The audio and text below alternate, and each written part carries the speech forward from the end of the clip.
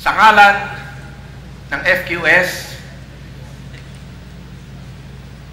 ako po si Bonnie Ilagan,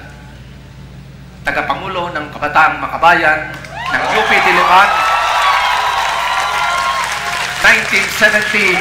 1971, nagsasabing,